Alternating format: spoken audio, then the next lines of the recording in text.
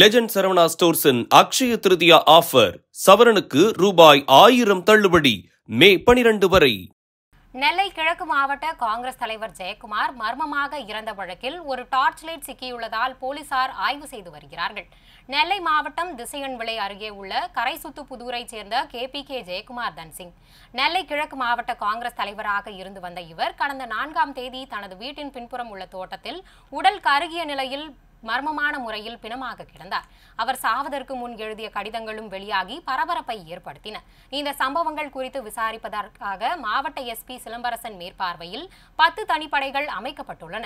ஜெயக்குமார் தனசிங் இறந்து கிட்டத்தட்ட ஒரு வாரம் ஒரு வாரத்திற்கும் மேல் ஆகியும் அவர் எப்படி இறந்தார் என்பது குறித்து உறுதியான தகவல்கள் கிடைக்கவில்லை.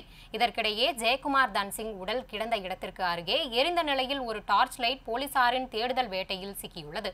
ஜெயக்குமார் தன்சிங் கடந்த இரண்டாம் தேதி திசையன் விலையில் உள்ள ஒரு கடைக்கு சென்று டார்ச் லைட் வாங்கிய சிசிடிவி காட்சிகள் வெளியாகின.